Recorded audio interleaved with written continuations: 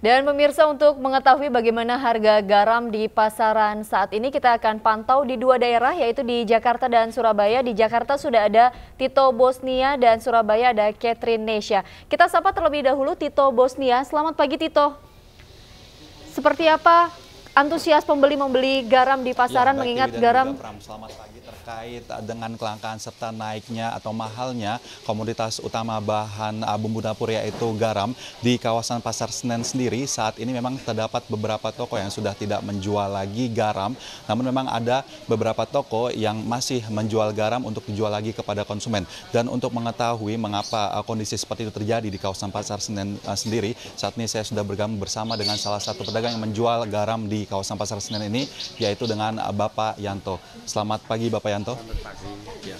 Nah, Bapak Yanto bisa jelaskan untuk kelangkaan serta mahalnya uh, harga uh, garam sendiri di kawasan atau pasar Senen ini sudah uh, sejak kapan, Pak? Sekitar setengah bulan yang lalu sudah nggak ada garam. Hmm. Jadi ya sementara itu untuk kenaikan sendiri, Pak, apakah memang cukup signifikan uh, dari harga berapa ke berapa gitu, Pak?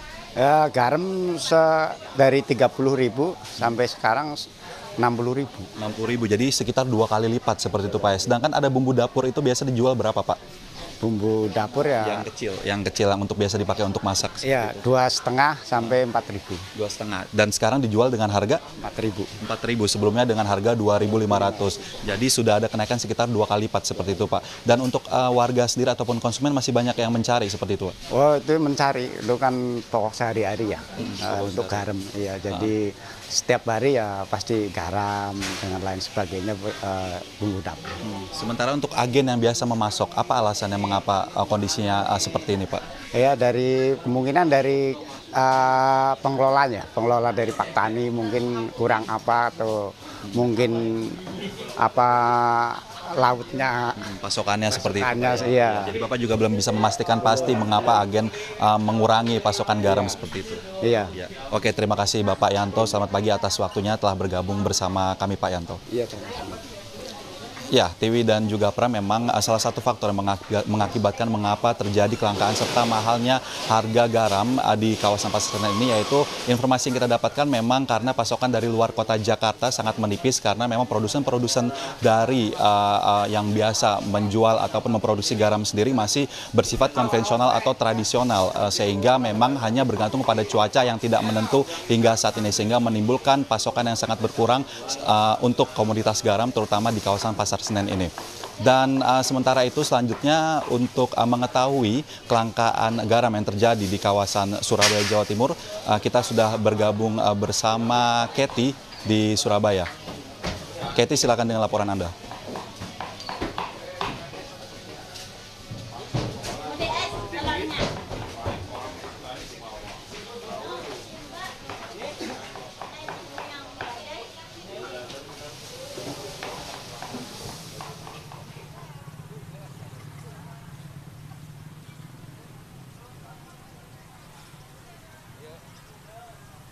Ya, Tito dan juga pemirsa kelangkaan garam tidak hanya terjadi di Jakarta, tapi juga terjadi di Jawa Timur, tepatnya di kota Surabaya. Dan di tempat saya melaporkan saat ini, di tempat saya melaporkan saat ini, tepatnya di Pasar Pabean, Surabaya, ini kelangkaan garam juga terjadi. Bahkan dari informasi yang kami dapatkan, para pedagang, khususnya pedagang eceran garam, ini juga kesulitan untuk mendapatkan garam hampir selama satu minggu. Lantas seperti apa para pedagang sendiri menyiasati uh, kelangkaan garam ini? Saat ini saya sudah bersama salah, dengan salah satu pedagang dengan Bapak Mustakim.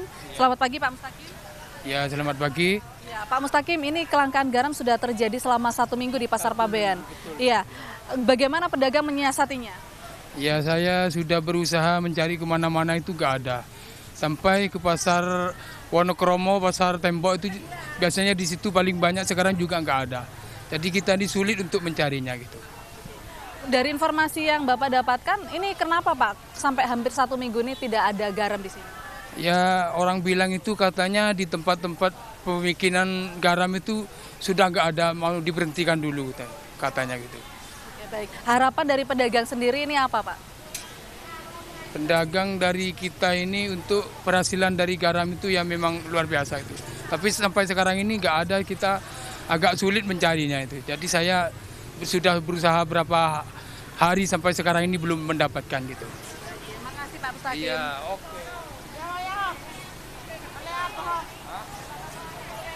Ya pemirsa memang Pasar Pabean Surabaya ini merupakan pusat grosir garam terbesar di kota Surabaya. Dan Jawa Timur sendiri ada sekitar tujuh kabupaten uh, penghasil garam yang juga ikut menyumbang uh, garam di, untuk Indonesia. Namun hingga saat ini selama dua bulan terakhir ini garam uh, para petani garam sendiri gagal panen dan sehingga tidak bisa dan sehingga maksud kami untuk uh, produksi garam di Jawa Timur ini juga berkurang begitu dan informasi yang kami dapatkan bahwa nantinya pemerintah Provinsi Jawa Timur akan melakukan impor garam namun hal ini masih belum diketahui apakah uh, akan dilakukan pemerintah karena para petani garam sendiri dalam akhir bulan Juli ini diketahui akan melakukan panen garam. Demikian yang bisa kami informasikan kembali ke studio Tiwi.